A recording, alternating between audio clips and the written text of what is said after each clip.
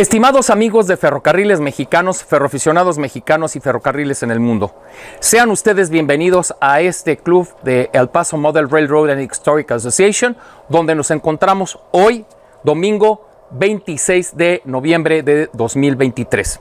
Son en este momento las, uh, las 14 horas con 35 minutos, hora en la que vamos a empezar la operación de nuestra maqueta para lo cual quiero por favor pedir a nuestros compañeros y amigos que nos van a ayudar a correr. El primero es Mario, Mario Almeida, por favor, que venga para acá. Y el segundo es nuestro presidente, nuestro train master, que es Federico. Por favor, rápidamente. Hoy vamos a correr los tres eh, equipos diferentes. Un servidor va a correr dos trenes directos con sus respectivas mancuernas de locomotoras. Federico tiene un tren eh, con máquinas, todas las máquinas que van a ver ustedes hoy son máquinas raras y únicas. Eh, son Alco Century 420 de las que llegaron del Rock Island. Y Mario va a correr un tren con una 100 pies Baldwin Locomotive Work. No vamos a entrar mucho en detalles en esta presentación, simplemente cada quien va a correr su tren y vamos a hablar un poquito de la historia de las locomotoras que, que arrastran cada uno de los consists. Así que por favor no se vayan, acompáñenos que ya comenzamos. Gracias. Vamos a comenzar nosotros con este tren que es un tren, es un directo, vamos a decirlo así, un directo, un local que viene a estar remolcado por dos locomotoras SD45. Fíjense bien, locomotoras SD45 construidas por la Electromotive Division y si ustedes se percatan, tiene el número 801 y la otra tiene el número 802.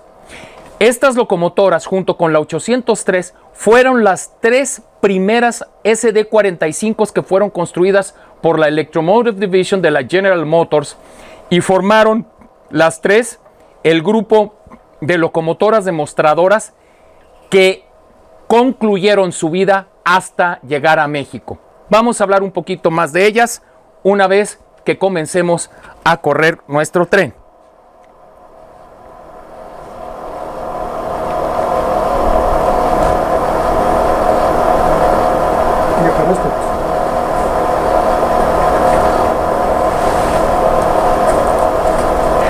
Lo particular de estas locomotoras SD45 es que son las únicas que llegaron a México con su verdadero motor 645 de 16 cilindros, perdón, de 20 cilindros, hago la aclaración, 20 cilindros en B.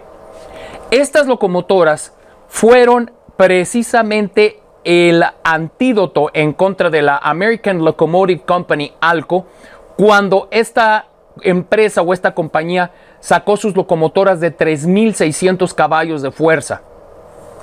La respuesta de Electromotive Division fueron estas locomotoras.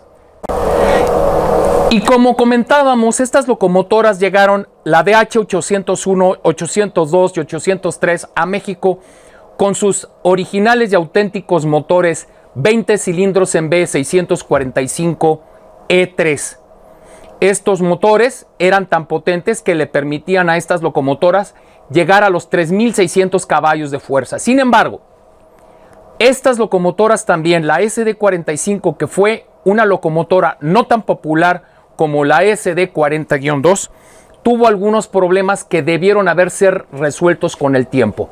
¿Cuáles fueron principalmente? La potencia de sus motores era tal que en muchas ocasiones rompían los cigüeñales de sus motores, provocando que estos se desvielaran. ¿Y esto por qué sucedía? Porque la Electromotive Division se dio cuenta posteriormente de un grave defecto de fabricación en el cual no habían reparado y posteriormente lo corrigieron. Los motores de 20 cilindros en vez de la EMD estaban sus cigüeñales soportados por 5 puntos de apoyo. Esto provocaba que la distancia entre los puntos de apoyo de el cigüeñal con el monobloc fueran tan largos que con el gran esfuerzo producido por los pistones rompieran el monobloc en varios, perdón, rompieran el cigüeñal en varios pedazos. ¿Qué fue lo que tuvo que hacer EMD? Fue que a sus cigüeñales y a sus monoblocks les tuvieron que agregar dos puntos de apoyo más.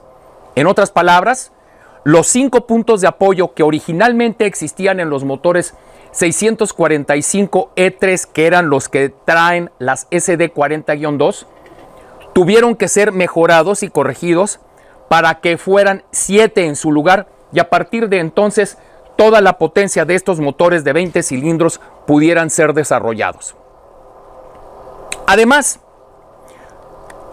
estas locomotoras eran tan potentes y sus motores eran tan temperamentales que son las únicas locomotoras hasta hoy y en la historia de la Electromotive Division que el pedestal de control no tenía puntos 1, 2, 3, 4, 5, 6, 7, 8, sino que tenía 1, 1 y medio, 2, 2 y medio, 3, 3 y medio, 4, 4 y medio, 5, 5 y medio, 6, 6 y medio, 7, 7 y medio y 8. Tenía medios puntos entre el punto 1 y entre el punto 8. ¿Por qué? Porque esto permitía que la aceleración de los motores fuera aún más suave y se recomendaba no aplicar plena potencia desde un principio debido a la potencia misma de los motores de 20 cilindros. Esto le dio una reputación a la SD45 buena de ser locomotoras muy potentes y muy confiables, a pesar de los primeros problemas que presentaron con los cinco puntos de apoyo en sus cigüeñales. Estamos viendo en esta maqueta el momento en el que este tren viene descendiendo y es una pendiente descendiente bastante fuerte. Uno podría pensar que no hay mayor problema al descender con un tren, pero uno de los graves retos para cualquier maquinista es que sepa controlar su equipo de aire y sus frenos dinámicos. Recordemos que el freno dinámico es utilizar la fuerza electromotriz negativa que generan los motores de tracción, que también son eléctricos, enviando la fuerza o la energía eléctrica que ellos mismos producen al convertirse en generadores por llevar la inercia de descenso a unas parrillas que se encuentran en la parte superior y central de la locomotora que se llama precisamente freno dinámico. En una comparación muy sencilla, es como si nosotros fuéramos manejando nuestro automóvil yendo en cuarta velocidad y metemos tercera, bajamos a tercera velocidad y bajamos a segunda velocidad para con la misma fuerza del motor ir frenando la trayectoria de nuestro, de nuestro eh, recorrido. Las locomotoras, exactamente al ser diésel eléctricas, cuentan con esta posibilidad que permite que los motores de tracción, al llevar inercia, y cortarles la corriente, los motores en un sentido inverso se convierten en generadores y la corriente eléctrica que generan se va hacia la atmósfera y se disipa en forma de calor a través de las parrillas del freno dinámico. Esto provoca una oposición a el, el, momento que tiene el motor de corriente, de corriente eléctrica y provoca precisamente un freno mismo como lo es la resistencia, las resistencias en forma de calor.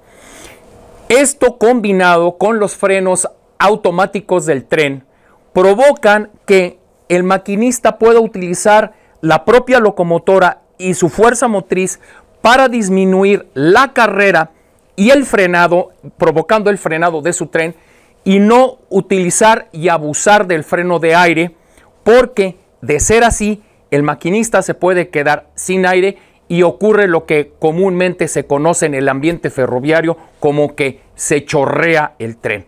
Se chorrea el tren porque efectivamente se escurre, se va, pierde control y entonces la habilidad del maquinista consiste en saber administrar el aire de su freno automático, así como la capacidad electromotriz negativa de su locomotora para poder tener un descenso controlado sin quedarse sin aire. Aquí vemos cómo nuestro tren va descendiendo y mientras tanto le pedimos a don Federico que por favor nos vaya presentando su tren. Mientras nuestro tren desciende, ahora estamos viendo un par de especímenes muy raros que llegaron provenientes del Rock Island Railroad. Estas locomotoras son un par de Alco Century 420, fueron de las primeras series de la serie Century, que fueron desde la Century 415 hasta la Century 630. Estas locomotoras llegaron con la particularidad de que el compartimiento del motor diésel era el frente y la parte corta donde estaba el generador de vapor era la parte trasera. Estas locomotoras al tener generador de vapor nos delatan que fueron utilizadas por ni más ni menos el Rock Island para hacer locomotoras de uso para trenes de pasajeros. ¿Qué fue lo que ocurrió con ellas? Cuando Rock Island las vende y son remanufacturadas, las locomotoras continúan con la particularidad de tener el frente largo o el frente del compartimiento del motor diésel como la parte frontal de la locomotora. Sin embargo, estas locomotoras venían engranadas para poder desarrollar más bien velocidad que potencia. Para poder ser atractivas al mercado de carga, estas locomotoras debieron reengranarse o su relación de engranes cambiarse y de esta forma se les quitó velocidad, pero al mismo tiempo, por la misma circunstancia, se les dio mayor potencia.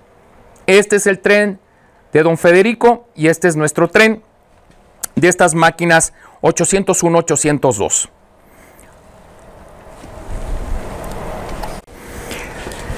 Y queremos continuar con la explicación en el sentido de que habrá algún cuentarremaches o algún fijado que me diga, oye Ricardo, estás equivocado porque esas locomotoras no vistieron esos colores en los nacionales de México. Sí y no. La 801 fue la única locomotora que sí vistió los colores naranja-verde y sí, la 802 803 no vistieron esos colores.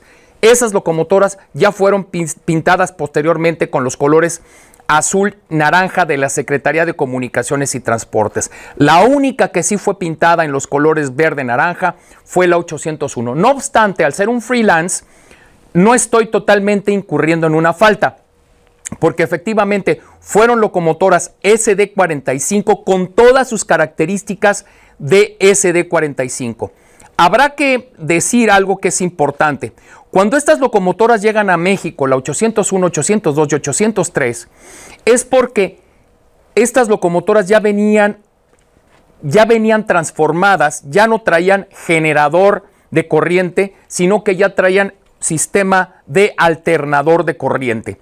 Y en lugar de tener el compartimento o tener el panel de control con switches, switches térmicos, estas locomotoras ya venían modificadas como las SD 40-2 con paneles de circuitos integrados para la operación de sus sistemas eléctricos. Fue la modificación que se les hicieron. Y vean ustedes, este es nuestro consist que trae algunos carros modificados. Y este es el tren de Federico, que como ustedes ven, son las dos Century 420 que llegaron del Rock Island. Estas locomotoras todas tienen una historia que contar porque fueron únicas y así llegaron a México aproximadamente en el año de 1978, cuando se dio esa tendencia especial de parte del gobierno mexicano para revitalizar a los ferrocarriles nacionales de México. Afortunada y desafortunadamente, estas locomotoras llegaron reparadas con algunas condiciones interesantes. Ya venían con un desgaste pronunciado y algunas de ellas no pudieron continuar mucho tiempo más en operación. Otras, sin embargo, sí venían muy bien reparadas y todavía tuvieron algunos años más al servicio efectivo de los nacionales de México. Ahora hablaremos de otra locomotora que también fue de compra especial para los ferrocarriles nacionales de México. Esta locomotora, conocida como la Centipede o la Cien Pies Baldwin, fue una locomotora que realmente fue especial, ya que solamente tres ferrocarriles la adquirieron. Seaboard Coastline, Pennsylvania Railroad y los ferrocarriles nacionales de México. Y curiosamente, el lugar donde más tiempo estuvieron en servicio fue en México. Estas locomotoras fueron diseñadas originalmente para remolcar rápidos trenes de pasajeros y tenían una particularidad. En este momento estamos viendo las locomotoras Century 420 que se están acercando a nosotros y tenemos una perspectiva mejor de las mismas. Son locomotoras aerodinámicamente o con un diseño bastante agradable a la vista. Y desafortunadamente México tuvo un par de ellas nada más de nariz baja y pertenecieron a los ferrocarriles unidos del sureste.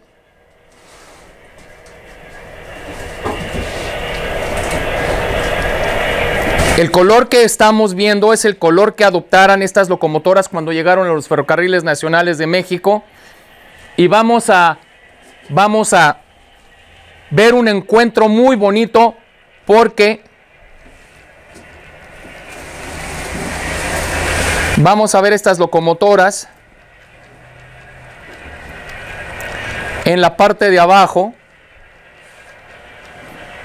Y vean ustedes descendiendo también Vean qué bonita toma.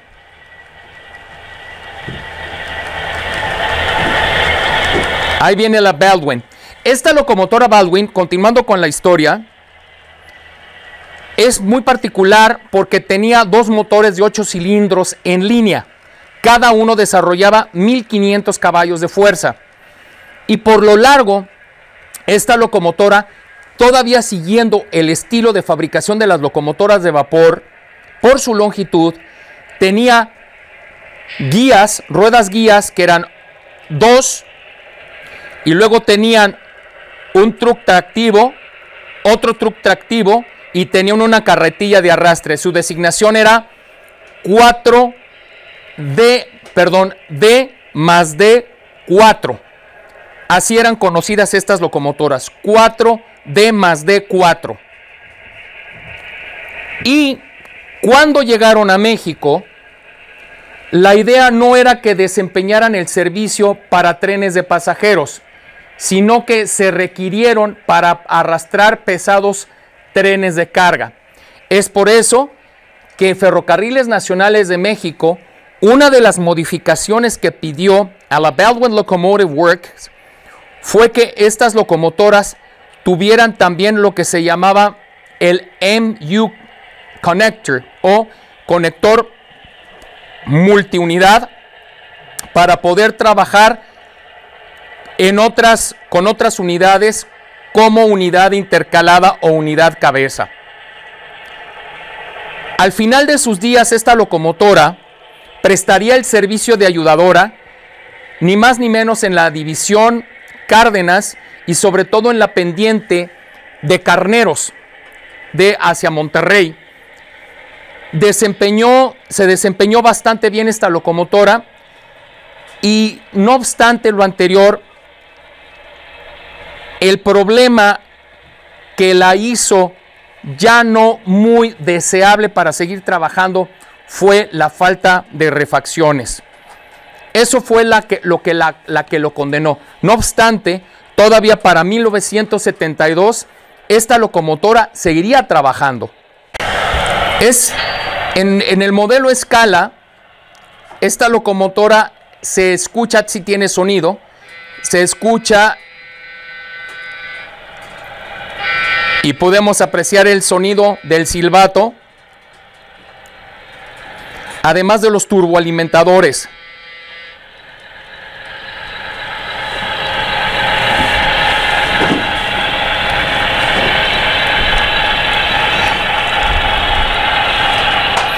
Y vamos a ver cómo llega a la estación y en la estación va a llevar a cabo un movimiento muy particular.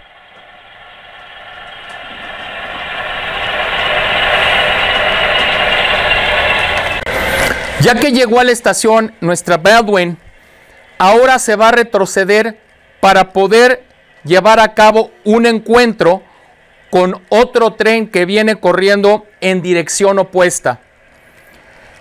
Este tren está conformado además por un equipo propio de la época con carros de 40 pies, eh, chaparritos, podríamos decir, y que estuvieron asignados al servicio de plátano. Por supuesto, estos carros son eh, de los que sacó Atlas. Y bueno, la locomotora es una Broadway Limited. Y el esquema que viste esta locomotora es el segundo esquema que fue el utilizado por los ferrocarriles nacionales de México a partir de 1958. La locomotora se está retrocediendo y está entrando a un escape para poder llevar a cabo maniobras de patio y al mismo tiempo permitir el encuentro con el tren que pasará en sentido contrario.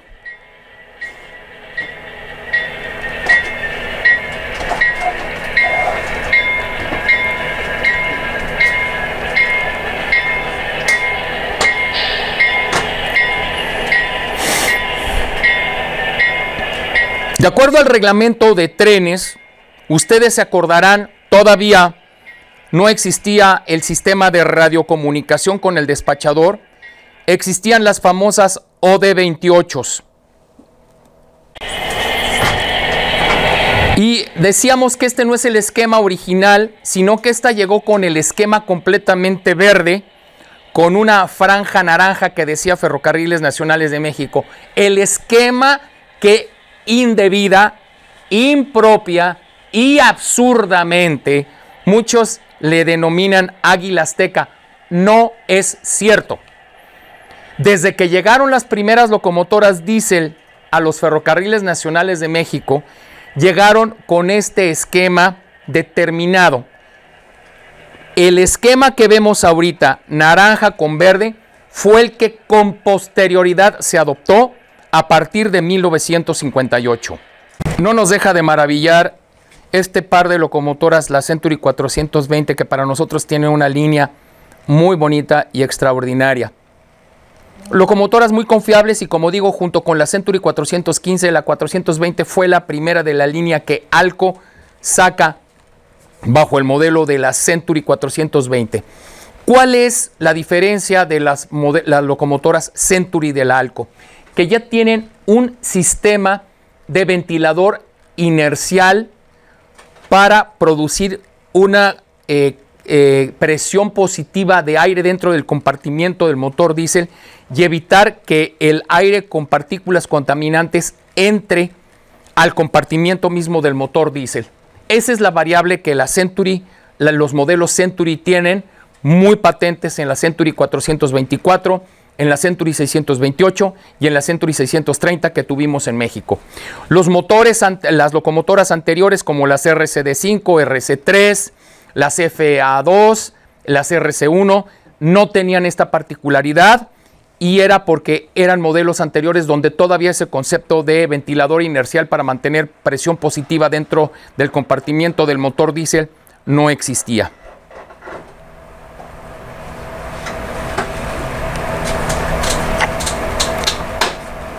Este mismo concepto lo aplicaría la Electromotive Division a partir de la locomotora GP30, que fue la primera que ya traería eh, compartimiento y compresión positiva de motor y tendría ventilador inercial para generar esta presión de aire dentro del compartimiento del motor diésel.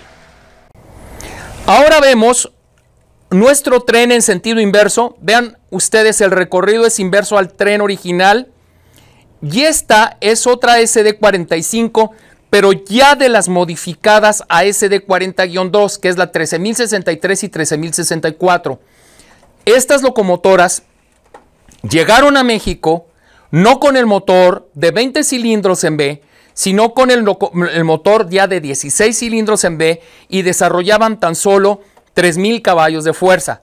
No llegaron con el esquema verde-naranja, como ustedes lo están viendo, sino que ya llegaron con el esquema azul, dos tonos naranja de, eh, la Secretaría de Comunicaciones y Transportes.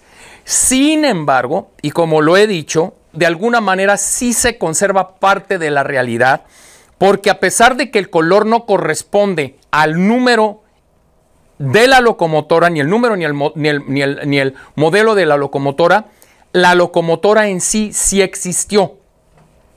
Una locomotora fueron locomotoras que fueron reconstruidas por la Paducah Built BMW y que fueron, al ser reconstruidas, eh, se les despojó de sus motores de 20 cilindros en B Electromotive Division, se les puso el motor de las SD40-2 y se les hizo una modificación para que tuvieran ya en lugar de generador, alternador de corriente para producir exactamente corriente alterna, hacerlas más efectivas y los compartimientos donde iban los interruptores térmicos y, e interruptores de palanca fueron sustituidos por sistemas y tarjetas de circuitos integrados para hacer más eficiente el desempeño de estas locomotoras. Fueron varias, algunas de ellas vinieron del Southern Pacific, otras vinieron del Southern Railway, Todas ellas llegaron a México, pues podríamos decir que bastante bien reconstruidas porque hoy y a la fecha varias de ellas todavía siguen prestando servicio para Ferromex ya en los colores de Ferromex. Y vean ustedes, todo este tren es de la época. Vean ustedes aquí este carro tienda de que antes de que eh, Conasupo tomara control de, de, las ferrotiendas y ya el carro tienda de Conasupo, cuando Conasupo se encargó ya de los carros tiendas.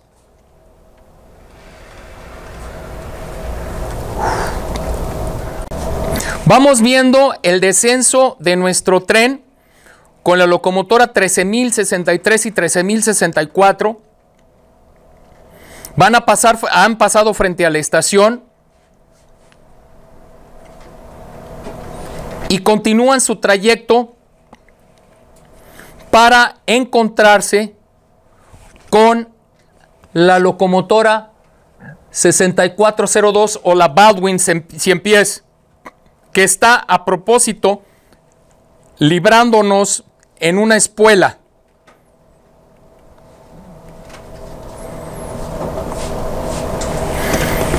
Este encuentro es muy bonito y es muy, muy mexicano porque acuérdense ustedes que la misma vía que servía para ir de ida, servía para ir de regreso. Nuestras locomotoras empiezan a descender.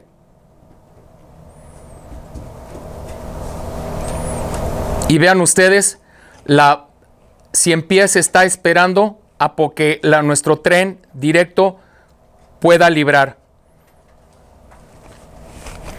Este, eh, eh, estos, este tren eh, de, tanques y combinado con cajas tiene una apariencia muy bonita y vamos a hacer una pequeña explicación de algo que ya lo hemos comentado en el pasado. Viene nuestro tren descendiendo. Qué bella toma. Y nos paneamos un poco para tener una mejor visión de esta SD45, bueno, SD45 convertida a SD40 con la 13064. Y esta es la regla que aplica y que vamos a explicar. Dos carros, dos furgones que se llaman comodines, dos furgones comodines, y ya después los carros tanque con contenido peligroso o explosivo. La regla nos dice, y actualmente también se aplica, que ningún carro con contenido altamente peligroso, corrosivo o explosivo o que tenga gases venenosos y peligrosos puede ir contiguo a la locomotora. Es por tanto que los carros comodines deben ir entre la locomotora y los primeros carros tanque. Aquí vemos que estos carros tanque traen contenidos eh, peligrosos y explosivos, lo que se llama hazmat o material peligroso, hazardous material.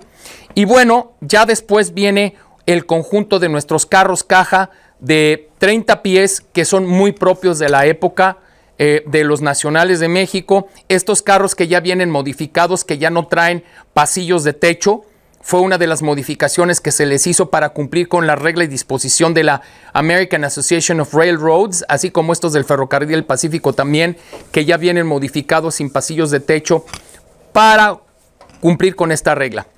Vemos todavía un uh, carro de 30 pies del el Scout de Santa Fe, como un de estos carros que eventualmente cruzaban de los Estados Unidos a México. Y vemos el esquema original del ferrotienda cuando todavía era administrado por los ferrocarriles nacionales de México. Estos carros prestaban el servicio a las cuadrillas de mantenimiento. Posteriormente, con el tiempo, con ASUPO, la Comisión Nacional de Subsistencias Populares entraría a un acuerdo con Ferrocarriles Nacionales de México para que estas ferrotiendas dejaran de ser administradas por los nacionales de México y en su caso fuera con ASUPO. De esta manera, la mercancía que llevaban estos carros ya no sería exclusiva para la venta de las, de, la, de los, eh, de las cuadrillas de mantenimiento de Nacionales de México, sino que servirían también para poder tener venta al público abierto, sobre todo en lugares donde no había acceso a este tipo de mercaderías y la gente tenía que viajar muchos kilómetros para llegar a una miscelánea. Y aquí vean cómo nuestro tren, vean cómo nuestro tren empieza a subir la pendiente. Es una toma maravillosa.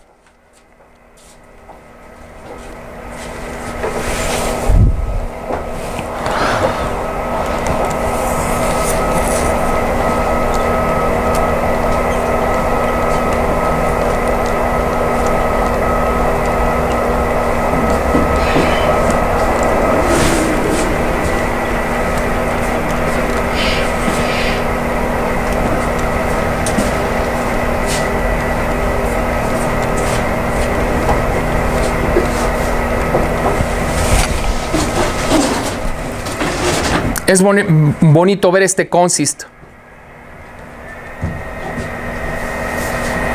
Con el tren subiendo la pendiente. Pocas veces tenemos la oportunidad de correr nuestros trenes en sentido inverso y esta es una de ellas para demostrarles lo importante de la pendiente.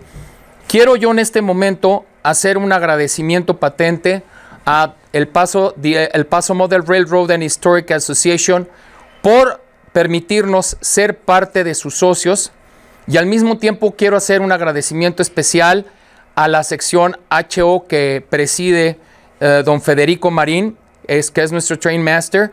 Además, mi, mi, reconocimiento y aprecio a Mario Almeida, Joel Hernández, que no está aquí con nosotros, que es con quien más hemos trabajado más estrechamente, porque ellos, eh, cuando hemos decidido venir a hacer este tipo de videos, son quienes incondicionalmente nos han prestado la ayuda y nos han permitido llevar a cabo este trabajo de documentación. Esto es lo que nosotros los ferroaficionados buscamos a través del ferromodelismo. No solamente correr trenes porque sí, sino darle un, un, un sentido mucho más importante, un sentido, digamos, con sentido. Y el sentido es que con nuestros modelos a escala podemos explicar y podemos representar lo que existió en el pasado y ya no es más.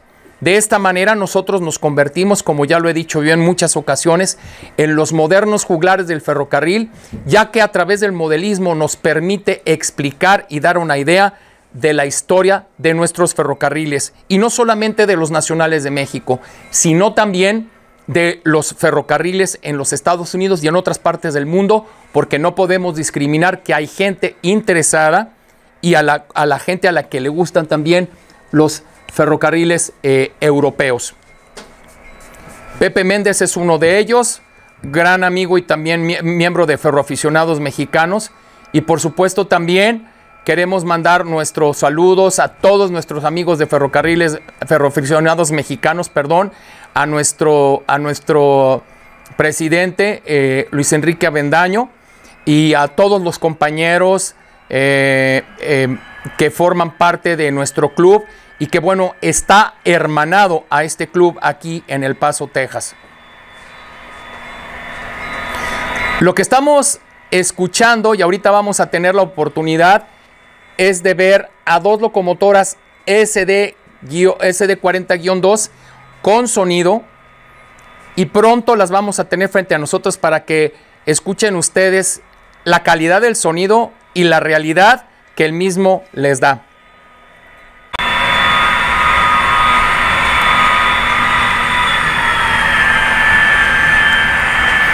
El peculiar turboalimentador del motor 645 de la SD40-2. Vean ustedes qué maravilla. Este Consist que se acerca, que es el mismo que traía Federico con la Century 420, pero ahora remolcado por un Paz de SD40-2. Estas de la marca Intermountain.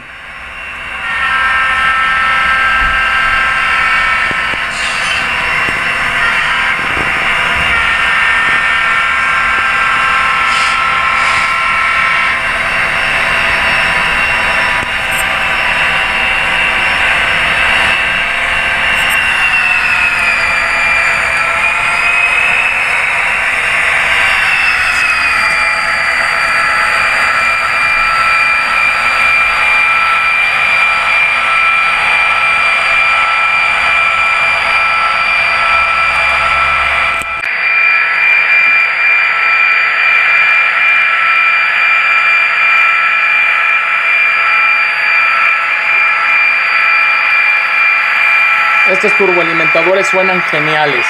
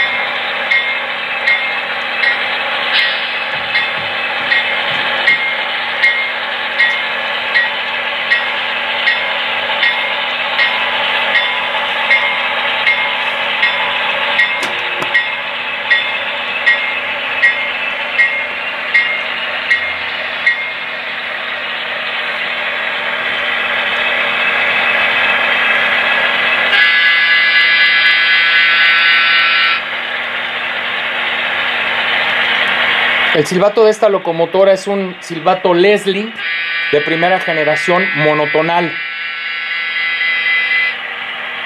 Las locomotoras SCD-40-2 y las SCD-45 tienen el silbato Leslie Super Typhon, el 13LR2.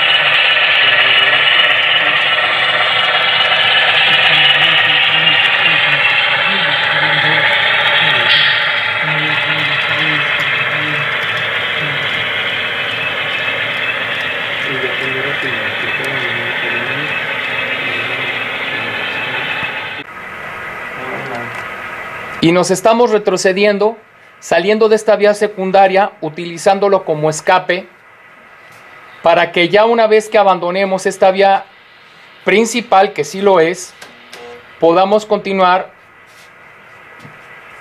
por la vía troncal por la que iba el otro tren.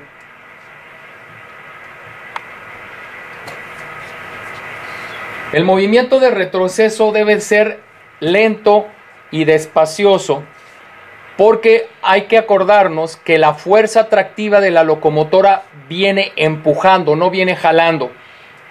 Y cuando no se tiene cuidado, sobre todo en el movimiento, cuando se trata de un tren empujando, puede haber descarrilamientos. Gracias.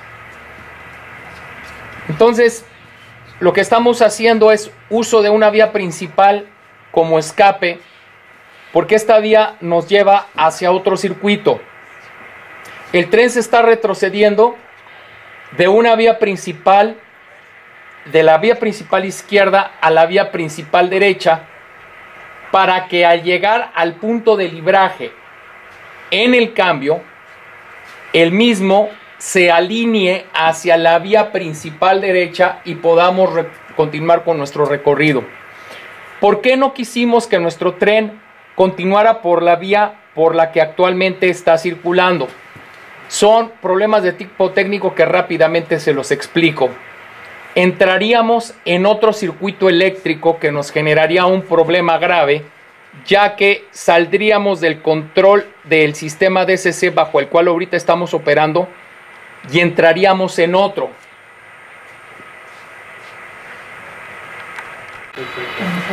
Nuestro tren se sigue retrocediendo y vamos a llegar al punto de libraje del cambio para retomar ahora sí la vía principal de la derecha.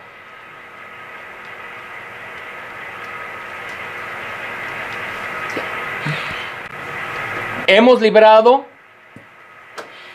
ahora se hace el cambio y verán cómo vamos ahora sí a proseguir hacia adelante, pero ya con el cambio alineado hacia la vía de la derecha.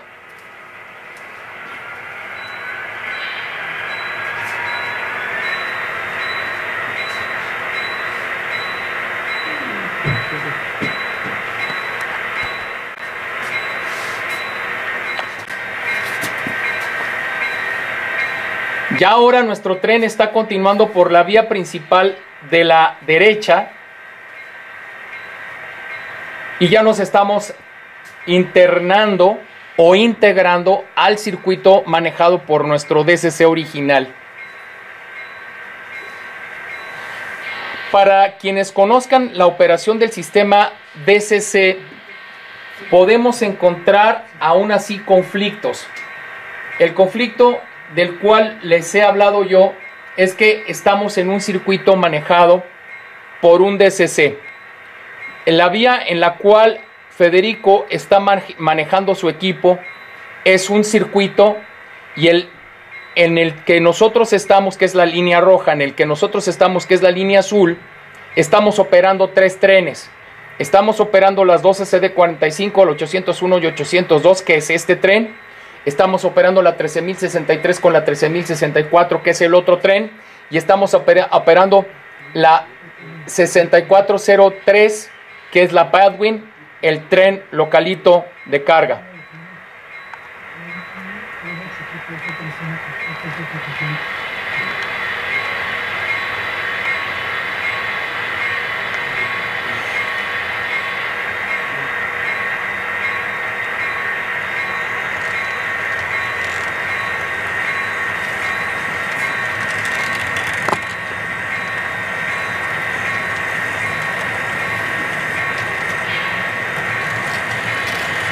Son bonitas escenas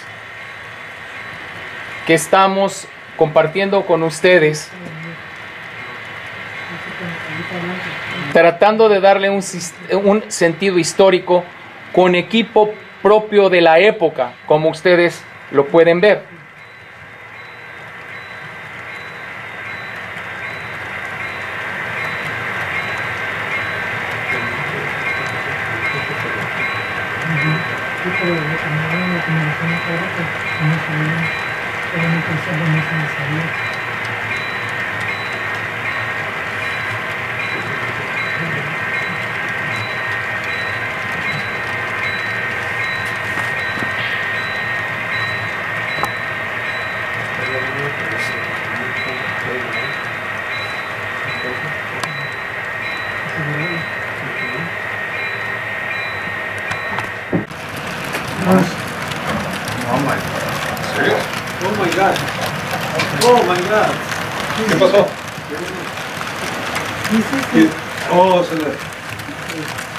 Máquina y se le fueron los carros.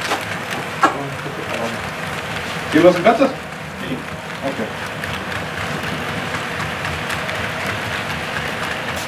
Está bien, nomás. Un poquito más.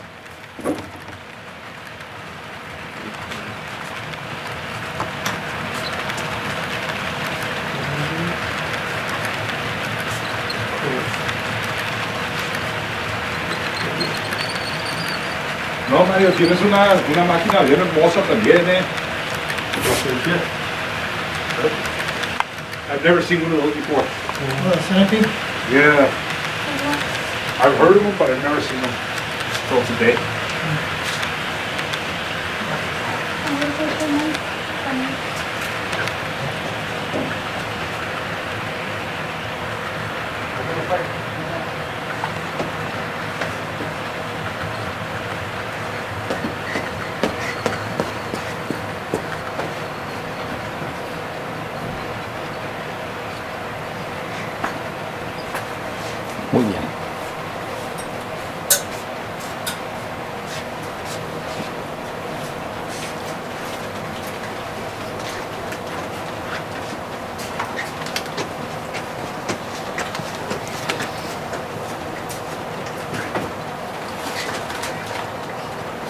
Oye Ricardo, entonces ¿de dónde sacaron eso del... ¿Estás filmando?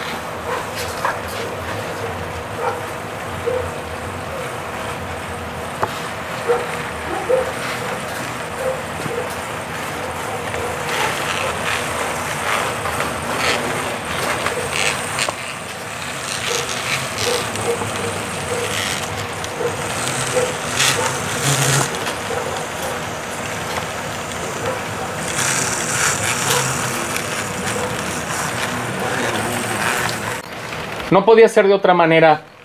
Como estamos en el paso, obviamente, Burlington Northern Santa Fe, pero todavía Santa Fe tenía su territorio también aquí en El Paso, Texas.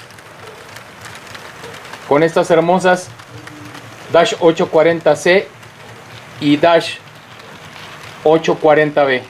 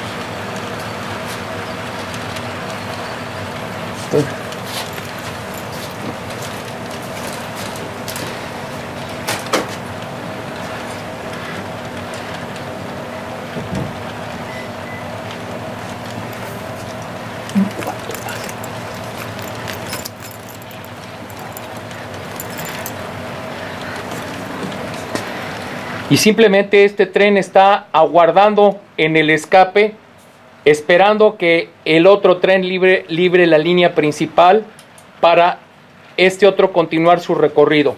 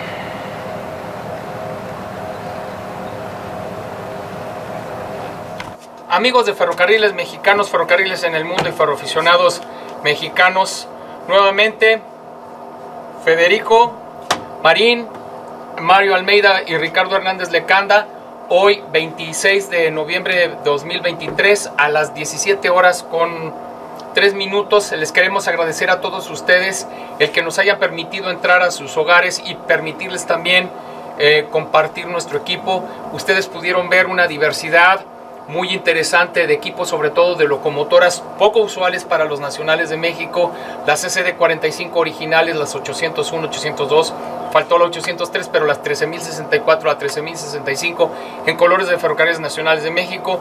Pudimos ver de Federico Marín, la Salco Century 420 y pudimos ver de Mario Almeida la 100 pies, la, la Baldwin 100 pies trabajando en un trenecito cortito.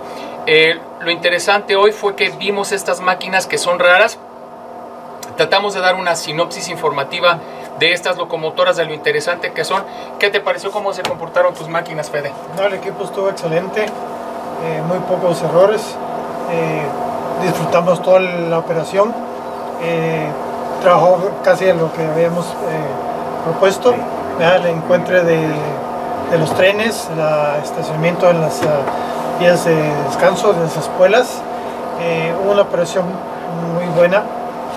Muy bien. ¿Y tú qué, qué, qué, piensas de tu equipo? ¿Cómo viste que trabajó tu pues, equipo?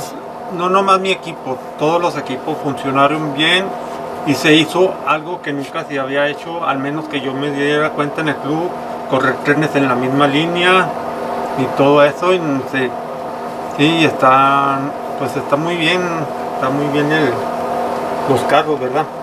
Lo que, la máquina. lo que hicimos efectivamente, y como a lo que se refiere Mario, es que corrimos tres trenes, por ejemplo, en una misma línea, dos en un sentido y el otro en el otro sentido. Esto fue gracias a que estamos operando en sistema DSC. Fede también corrió y sigue corriendo sus trenes también en la línea DSC.